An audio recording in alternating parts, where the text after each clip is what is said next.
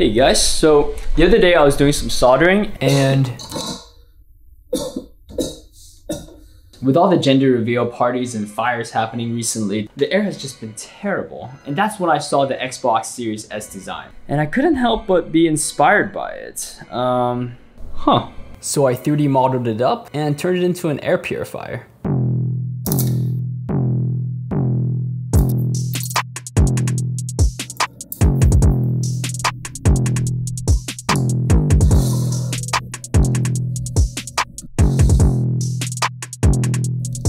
Any computer fans will work for this, but I'll be using Noctua fans since they run a lot quieter.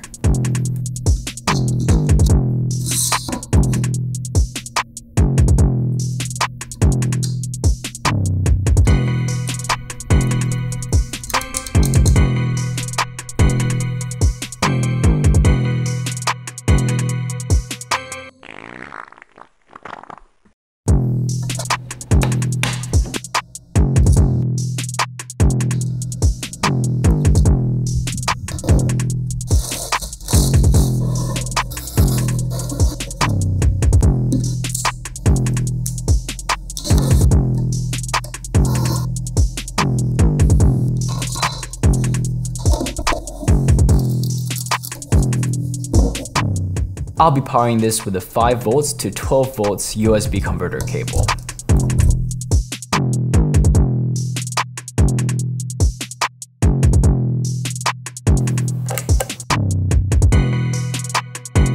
So how does this thing perform? Well, not too bad actually. These kind of computer fans aren't usually very strong, but this thing was actually able to still pull in fume from a pretty far distance. And uh, I don't see any smoke coming out the other end of the fans. So it looks like the carbon filters are doing a decent job.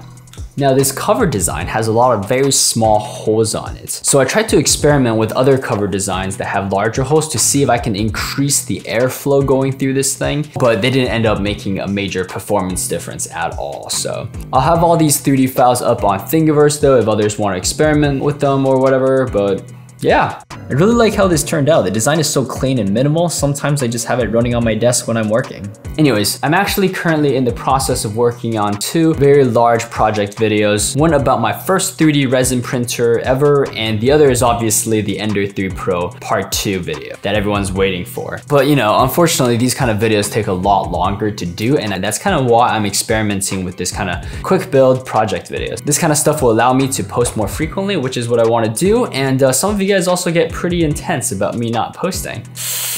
Yeah, please let me know what you guys think of this format in the comments below. Anyways, that's pretty much everything. Uh, thanks for watching, guys.